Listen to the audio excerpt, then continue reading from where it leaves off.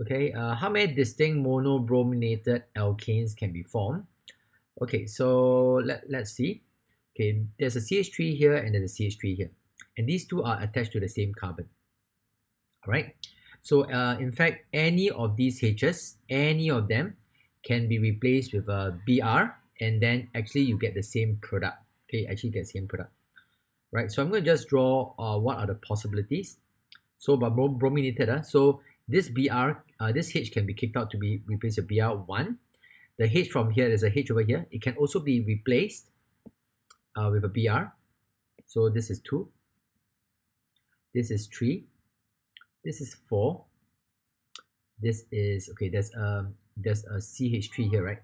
So you can kick out this H, right? So this will be, uh, I'm going to draw it out so it should look like this. 5. There's a H over here that can be kicked out, so it becomes 6, 7, and 8. Alright, so that's why uh, for this question, if you if you did it properly, you realize there's actually 8 possible monobrominated alkanes. Right? Okay, let's uh, look at the next part. Okay, so uh, yeah, I'm doing all the BR here, but I'm trying to show you all those the possible uh, positions where the BR can be.